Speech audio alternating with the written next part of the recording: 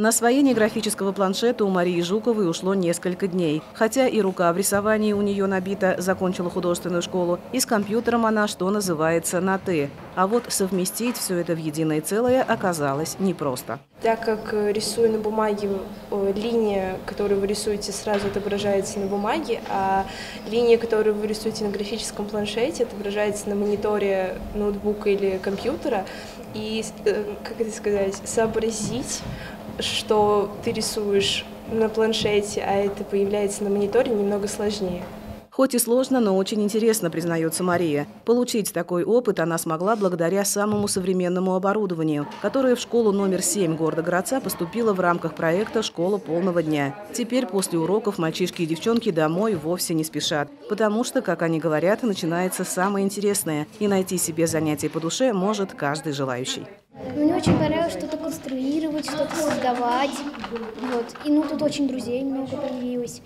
И очень интересно вот собирать всякие частицы и делать новые, новые какие-нибудь самокаты, мельницы. Кружок робототехники, пожалуй, самый популярный среди ребят. На первый взгляд все это напоминает игру в обычный конструктор, знакомый всем с раннего детства. Но когда собранная своими руками машина оживает на глазах, восторгу ребят просто нет предела. Чтобы любой робот мог начать автоматически выполнять какие-то действия, его необходимо запрограммировать, потому что без а, программы, без алгоритма действий, который человек ему прописывает, он по факту является просто кусочком пластмассы, который сам ничего делать не может. Те ребята, кого не привлекают компьютерные технологии, с радостью осваивают вышивание или рисование. В помощь для этого специальные станки и мольберты. Те, кто любит мастерить, занимаются деревообработкой, где с помощью самых разных станков и умелых детских ручек обычные кусочки дерева превращаются во что-то интересное. Например, как у этих мальчишек в макет эмблемы Крыма «Ласточкино гнездо». А те, кто близок к спорту и туризму, оттачивают свое мастерство в этом направлении.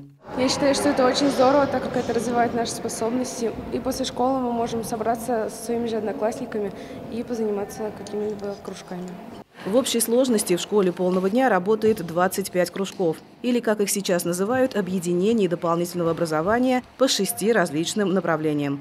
Все эти направления, они у нас идут по возрастающей. То есть, если со второго класса они начнут ходить на один кружок, то этот кружок у нас будет и в третьем, и четвертом, и в пятом классе. То есть идет программа на развитие ребенка на будущее.